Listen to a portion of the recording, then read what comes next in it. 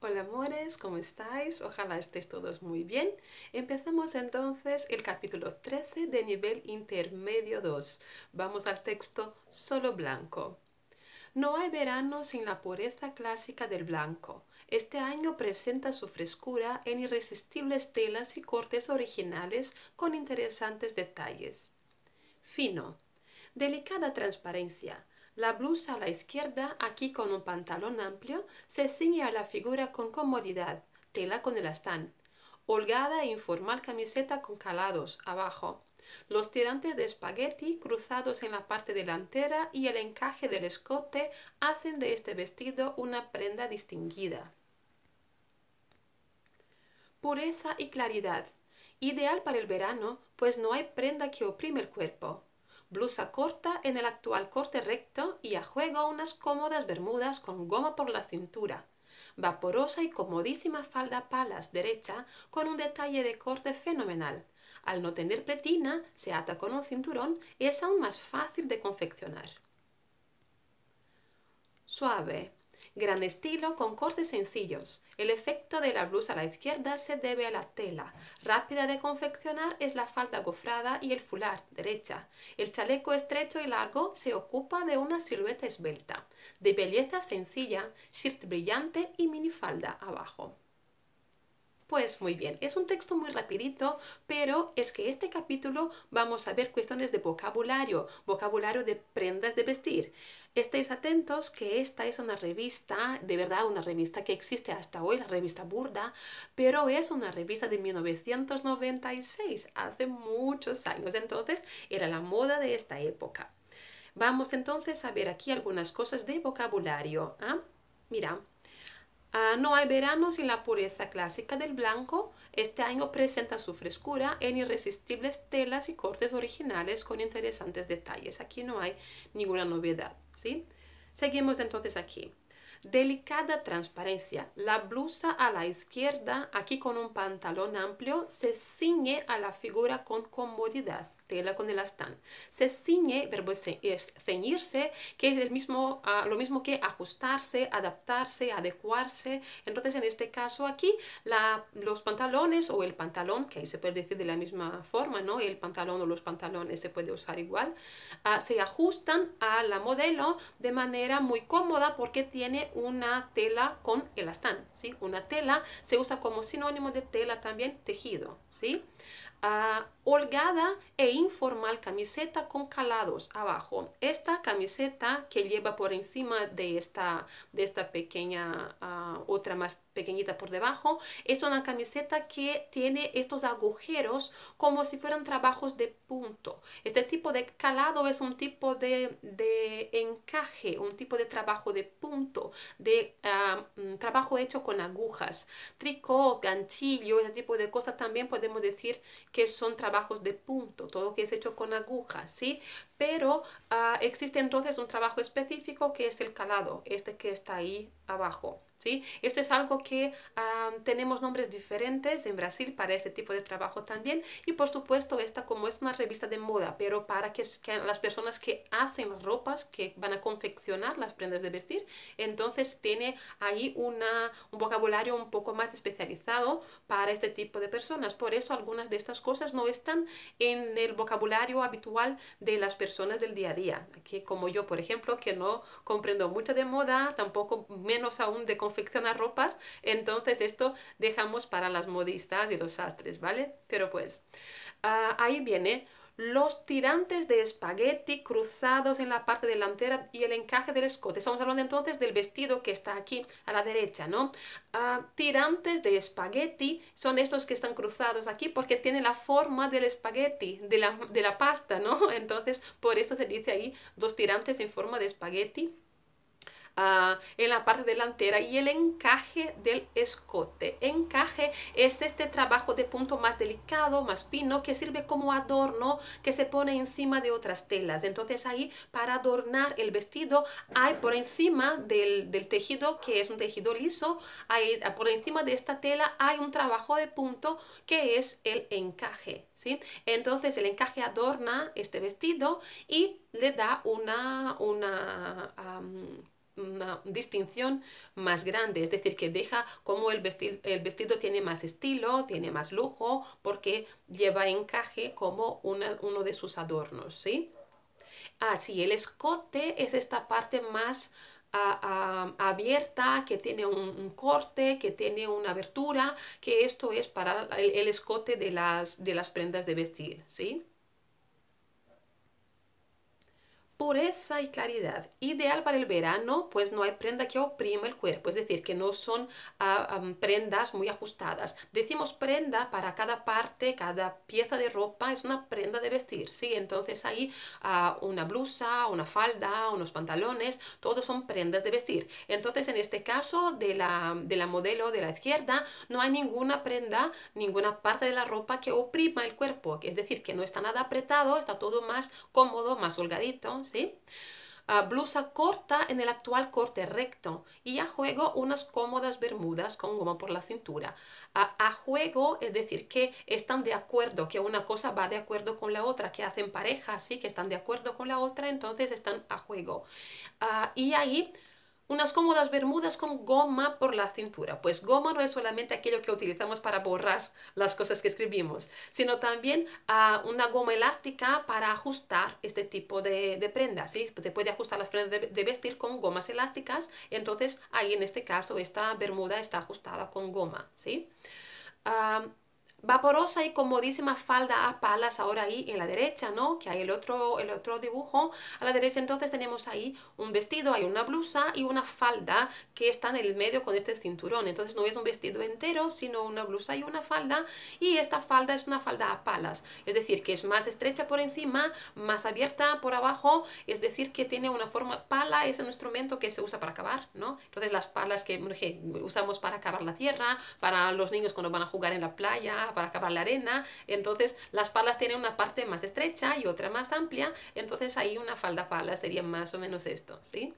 Entonces esta es vaporosa, vaporosa viene de la palabra vapor, que significa que es algo que es muy fluido, que es algo, algo que es muy leve, muy ligero, entonces vaporosa y comodísima falda palas, con un detalle de corte fenomenal, al no tener pretina, se ata con los cinturones, aún más fácil de confeccionar.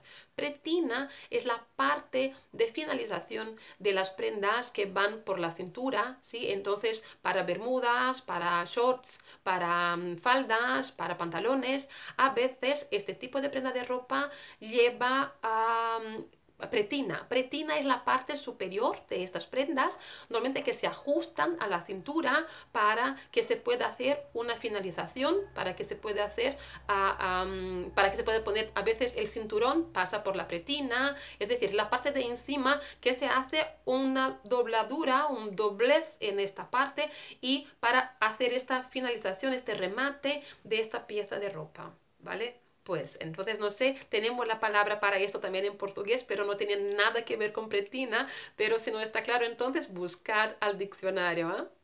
Seguimos. Gran estilo con cortes sencillos. El efecto de la blusa a la izquierda se debe a la tela. Ah, entonces, mira, tela, ahí como dije, como sinónimo, de como sinónimo de tejido, ¿no? Pero tejido también puede designar simplemente la textura de la tela, ¿sí? Entonces, a veces, ay, me gusta el color de esta tela, pero no me gusta su tejido. Es decir, me gusta el color, pero no me gusta la textura. Entonces, a veces la palabra tejido se usa como sinónimo para textura, pero ahí normalmente también podemos usar como sinónimo para tela o tejido, lo mismo, ¿sí? Entonces, aquí en este caso, ah, la próxima frase, rápida de confeccionar es la falda gofrada y el fular derecha. Aquí hay un pequeño error, no está a la derecha, sino a la izquierda, se refiere al mismo, a la misma foto, ¿sí? Entonces es a la izquierda la chica ahí que lleva ah, esta falda larga y esta, esta camisa ahí más larguita también y esta, este fular en el cuello, ¿no? Entonces mira aquí. Ah, Decimos entonces que es rápida de confeccionar la falda gofrada. Esta falda, que es la parte de abajo, ¿no? Entonces la falda ahí también una falda larga como era la de la página anterior. Entonces este dice que es gofrada. Gofrada eh, no es un tipo de tela, es un tipo de, de, impresión, digamos, así que se hace en la tela. Es una tela que tiene relieve. Entonces, esta tela no es una tela completamente lisa, ella tiene relieves que pueden formar dibujos o simplemente dar una textura al tejido, entonces a la tela, ¿no? Por eso ahí se dice gofrada, ¿vale? Ah, y el full art, full art que tenemos aquí es este tipo de de prenda que se usa para adorno o entonces también a veces algunos tipos que son un poco más para invierno se usa para calentar el cuello para proteger del frío pero ahí hay otro nombre también para fular que vamos a ver más abajo ¿sí? El chaleco estrecho y largo se ocupa de una silueta esbelta. Entonces, este tipo de blusa, este tipo de, prenda que va ahí encima en esta figura, es, se llama chaleco. Chaleco son estas que normalmente no tienen mangas, ¿no? Es una, chaleco, un chaleco normalmente no tiene mangas, pero va por encima de una blusa o de una camisa, ¿sí? Para, y normalmente tiene botones, es abierta por delante, así como las camisas también son abiertas, pero estas, los chalecos no tienen, no tienen Entonces, por ejemplo, es muy usual para los hombres, por ejemplo, cuando van a usar su traje completo, el traje de, de fiestas y los trajes más elegantes, ¿no? Ellos usan a una parte de encima, un abrigo que se llama saco, ¿sí?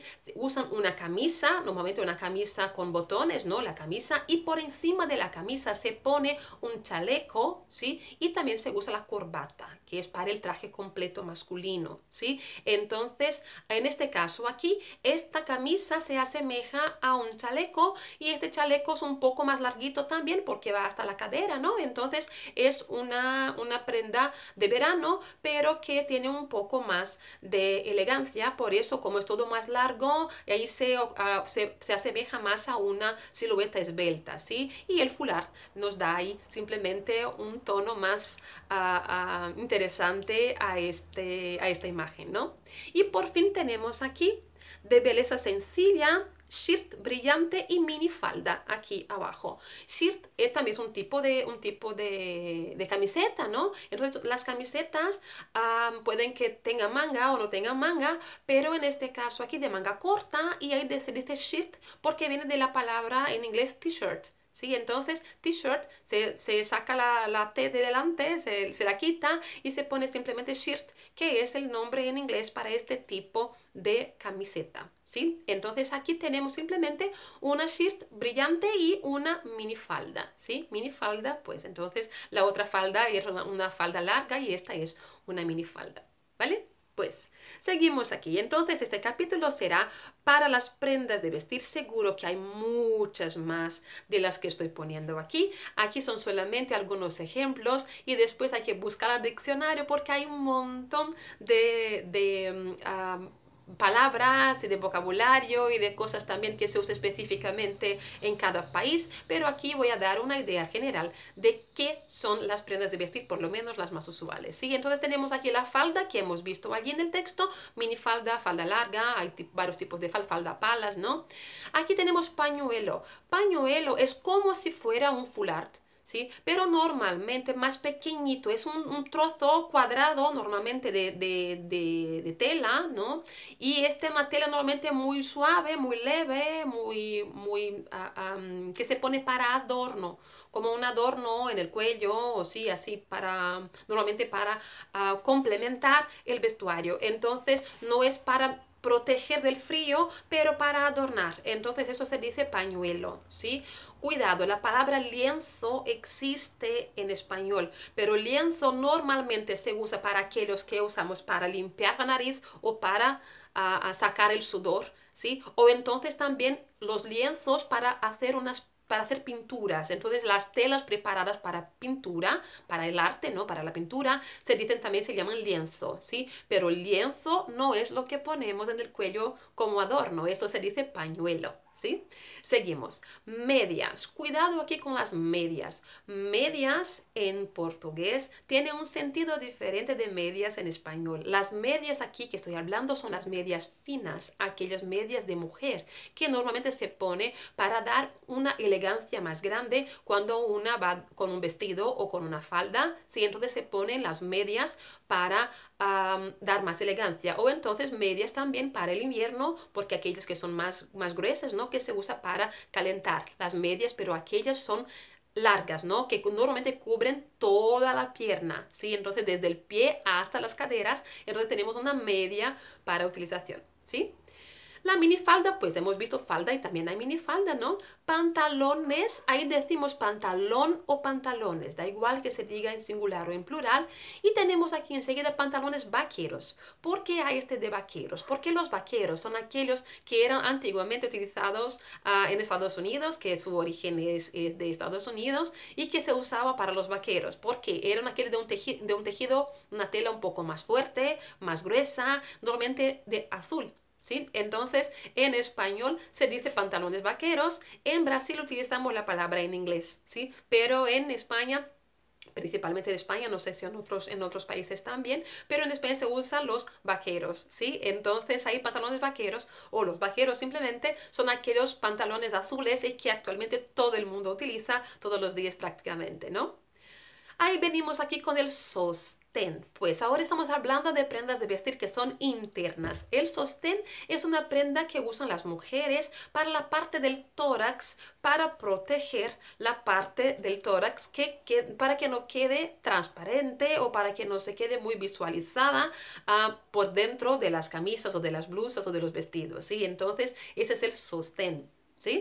La braga o la braguita es una prenda de vestir que hay al, contrario, no para el tórax, sino para las caderas, para entonces que va desde la cintura hasta ah, la pierna, el muslo, en verdad, ¿no? Que pues se pone la pierna por dentro, entonces hay dos agujeros para las piernas, ahí se usan las bragas o las braguitas, ¿sí? Entonces braga o braguita es este, esta prenda de vestir interna, ¿sí? Entonces es una prenda íntima, así como el sostén también es una prenda íntima.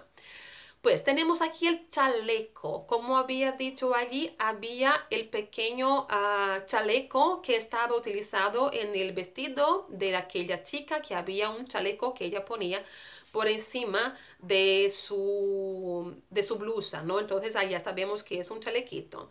Corbata es lo que los hombres usan entonces para hacer su traje completo. Se pone una camisa y una corbata, ¿sí?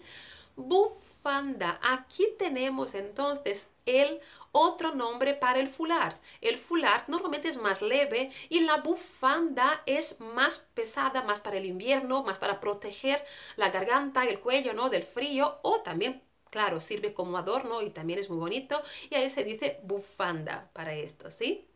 El sobre todo es un tipo de abrigo del frío que normalmente es un abrigo largo que va hasta los pies para abrigarnos del frío, por eso se dice sobre todo. Es un nombre muy semejante en portugués que es un tipo de abrigo, un tipo de, ah, prenda de vestir para protegernos del frío y que va hasta los pies o por lo menos hasta la mitad de la pierna, ¿no? Ahí venimos aquí con camisón. Camisón es la prenda de vestir que normalmente utilizan las mujeres a la hora de dormir. ¿sí? Se usa un camisón. Camisero también se puede utilizar como sinónimo, pero camisero se usa todo aquello que es relativo a las camisas. Y como el camisón se asemeja a una camisa más larga, ¿no? Entonces por eso tiene el nombre camisón. Pero a veces se usa como camisón y camisero como sinónimo, ¿sí? Pero es utilizado para dormir. La casaca. Casaca es como si fuera también... un chaleco pero con mangas y que se usa normalmente en uniformes, por ejemplo una casaca cuando uno va a casarse, ¿sí? El hombre normalmente utiliza una casaca, ¿sí? Una casaca para matrimonio, entonces es una, una casaca que es como un uniforme específico para aquella situación. Normalmente entonces es un tipo específico con manga larga, ¿sí? Que es más elegante, eso es una casaca, ¿sí? Abrigo es cualquier tipo de prenda de vestir de invierno que tiene mangas largas, pero que normalmente es abierto por delante, ¿sí? Entonces, que se usa por encima de blusas, de camisas, de camisetas, se usa por encima para proteger del frío, para abrigar, por eso tiene nombre de abrigo, ¿sí? Entonces, esos que usamos los día, el día a día se dicen abrigos. Un tipo específico de abrigo es el sobre todo, ¿sí? Sobre todo es un tipo específico de abrigo, pero más largo, ¿sí? Calceta, perdón, blusa. Blusa ahí es muy semejante en portugués. Blusa normalmente se dice más para ah, las mujeres. Blusa y camisa son aquellos normalmente que tienen botones o que, son, o que, tienen una, apertura por delante, ¿no? Y esta abertura normalmente se cierra con botones. Entonces se usa más blusa para mujeres o para niños y camisa para hombres, ¿sí? Pero es el mismo tipo de prenda de vestir, ¿sí? Calcetines, los calcetines son los que ponemos en el pie cuando hace frío. Entonces, esos sí son aquellos pequeños para proteger el pie del frío. ¿sí? Entonces, cuidado, medias son aquellas largas, aquellas que protegen todo el miembro inferior, toda la pierna del frío normalmente, ¿no? O entonces para quedar más elegante con otros vestidos. Y los calcetines, estos sí son para proteger los pies del frío, ¿vale? Ah, bueno, camisa ya hablé. Entonces, a las camisas pueden tener algunos tipos de, de figuras, ¿sí? de impresiones o de, o de ah, dibujos por encima. Y ahí puede que sea una camisa a cuadros, aquellas que tienen, ¿sí? Aquí los recuadraditos que son muy, muy famosas, estas camisas a cuadros, ¿no? O a rayas, cuando tienen solamente rayas así o así, pues entonces varios tipos de dibujos, varios tipos de estampas, ¿sí? Entonces en este, en este caso ahí son algunos ejemplos. Pues camiseta normalmente entonces son aquellas que no tienen cuello, si no tienen cuello, como esta aquí que tiene cuello, eso no es una camiseta, eso de aquí es un jersey, sí, jersey es para invierno, entonces esas que normalmente hecho de lana y todo esto, ahí no está el nombre jersey, pero eso que estoy usando normalmente se dice un jersey, ¿sí? Porque es un tejido más pesado, un tejido de lana y que se usa para invierno y que normalmente tiene el cuello, aquí, esta parte que protege, ¿no? Y también va hasta la cintura. Entonces ahí, pero uh, la camiseta no, la camiseta es aquella más común que utilizamos, puede que tenga manga o que no tenga, que está allí en el último, en último figura de texto, del texto, que ahí en aquel modelo que tiene manga, ahí se llama shirt, ¿sí? Pero que se puede también no tener manga y es camiseta igual, ¿sí? Chaqueta. Chaqueta también es un tipo de abrigo, pero normalmente también la chaqueta la utilizamos, también es abierta por delante, se puede cerrarla con botones o con cremallera, pues vamos a ver qué son estos, ¿ah? Y también se usa por encima de otras prendas de vestir. Pero el sobre todo es muy largo. La chaqueta normalmente solo va hasta la cintura, ¿sí? Entonces es la diferencia entre estos dos tipos de abrigo. La chaqueta es más corta y sobre todo es más largo, ¿sí? Pero ambos son abrigos, ¿sí? En agua o combinación o también se podría decir pollerines. Pues si alguien se acuerda de nuestro nivel básico 2, creo yo, o básico 1, no estoy segura, también habíamos hablado respecto a esto. Es una prenda de vestir muy antigua, pero que se solía utilizar las mujeres, ¿sí? que se ponía por debajo de las faldas para ah, dejarlas con más, para poner, más, poner más volumen en, en, las faldas largas, ¿sí? o entonces para no dejar muy transparente el tejido de que eran hechas las faldas. Entonces ahí se usaba por debajo una enagua o una combinación, porque a veces eran dos piezas muy, muy, muy leves, muy ligeras, que se utilizaba para simplemente no dejar las transparencias o dar un poco de volumen, ¿sí? Pero eso actualmente ya casi no se usa, ¿no? Bañador, los bañadores para, para hombres o para mujeres son las ropas que se utiliza para la playa, ¿no? Los bañadores. Vestido, normalmente entonces se puede decir que ah, el vestido puede utilizarse como aquella prenda de vestir única como usamos en Brasil, ¿sí? El vestido para las mujeres, pero todo lo que se viste es un vestido, todo lo que se usa para vestir es un vestido, ¿sí? Entonces, ah, el verbo vestir también existe en español y no solamente el sustantivo vestido, ¿sí? Entonces, el vestido se utiliza así como en portugués, como la ropa completa, la ropa entera, sí, femenina, pero también se usa para como uno que se viste está vestido, ¿sí? Y el traje es la ropa masculina. Normalmente el traje es el saco, ¿sí? Que es lo que va por encima, la camisa con botones normalmente, ¿sí? Un chaleco, a veces el chaleco es opcional, pero a veces se usa chaleco, la corbata, ¿sí? Los pantalones y los zapatos, ¿sí? Entonces este es un traje completo, entonces es el traje normalmente masculino, ¿vale? Guantes. Guantes es lo que usamos para proteger las manos del frío. Entonces, los calcetines protegen los pies y los guantes protegen las manos, ¿sí? Y calzoncillo es la prenda de vestir íntima masculina. Si teníamos la braga o la braguita para la prenda íntima femenina, ahí tenemos calzoncillo para la prenda íntima masculina, ¿sí? Ah, pero las mujeres, por supuesto, tienen dos prendas íntimas, ¿sí? Las, el sostén y la braga, ¿sí? Y los hombres entonces tienen ahí solamente el calzoncillo. Y el cinturón, ya hemos visto ahí en el texto también, que sirve para atar por la cintura las ropas, ¿sí? O para darle una... una alguna cosa más especial, a veces los cinturones tienen dibujos especiales para concluir entonces ahí a la finalización de, de, una, de una apariencia de la ropa, ¿sí? Muy bien. Seguimos aquí. Algunos detalles que se puede utilizar para las ropas. Ah, para coser, para costurar, coser o costurar es sinónimo, ¿sí? Y ahí tenemos dos tipos de personas. No solamente existe costurero y costurera en español, sí, costurero y costurera existen, pero también existe el nombre modista y el nombre sastre.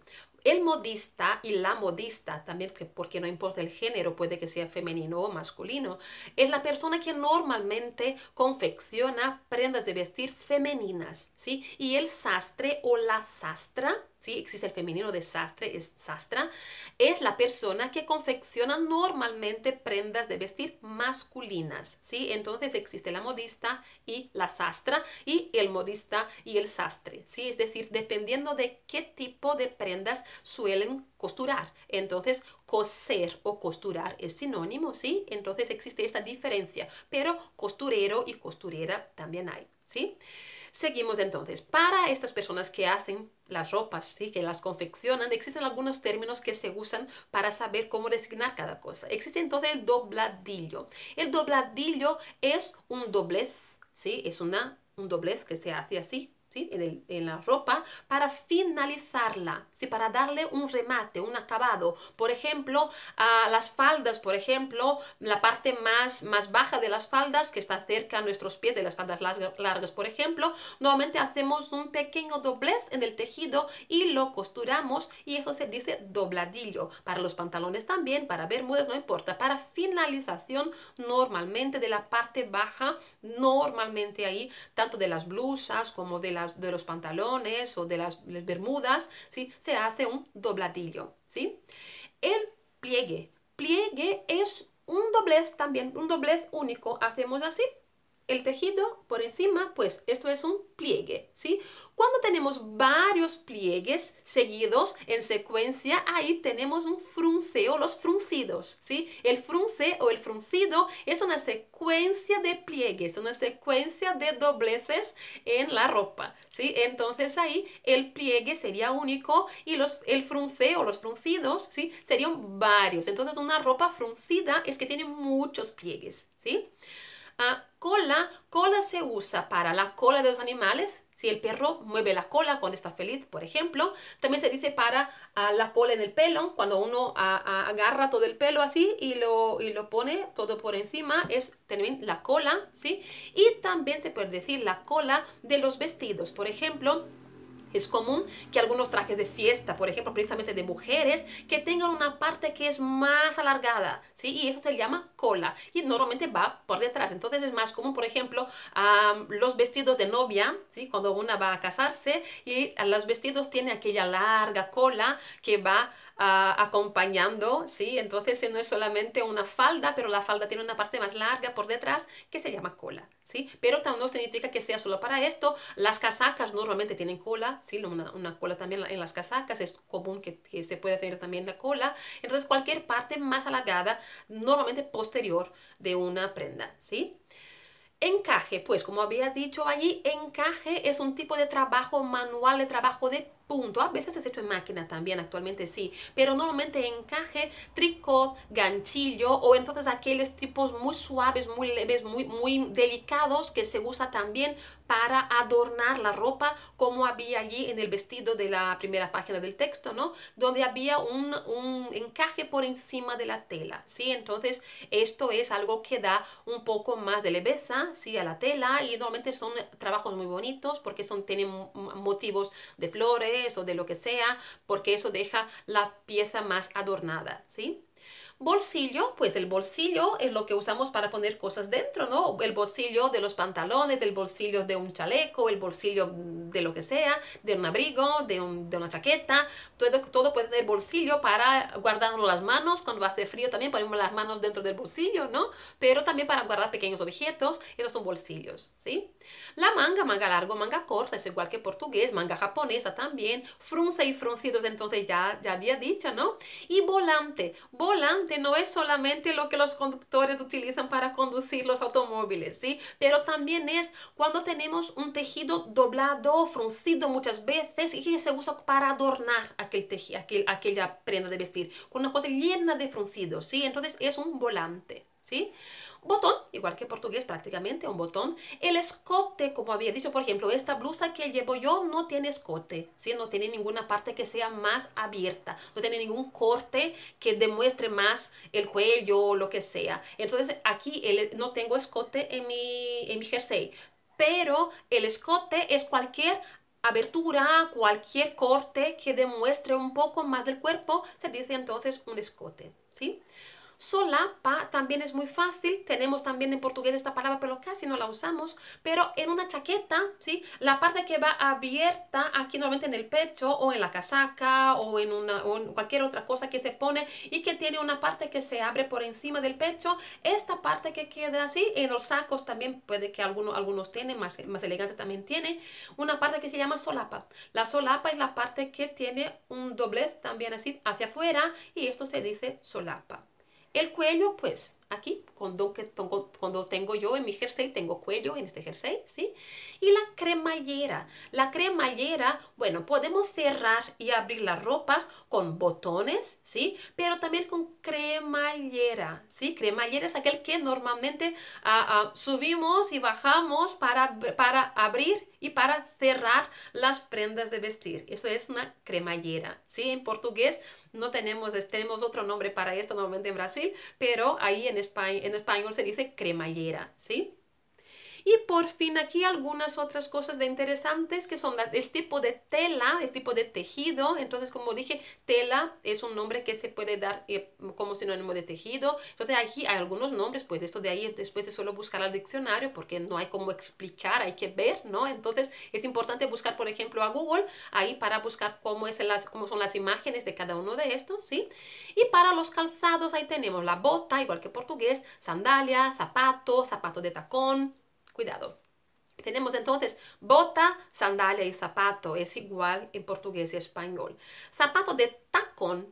Tacón son aquellos zapatos que tienen la parte alta por detrás. Entonces esta parte alta que nos queda, que porque pisamos en esta parte más alta con la parte posterior del pie, ¿sí? Pisamos allí. Entonces, esta parte alta son los tacones. Tacones pueden que sean más así, altos o medianos o tacones más bajitos, pero esos son tacones, ¿sí?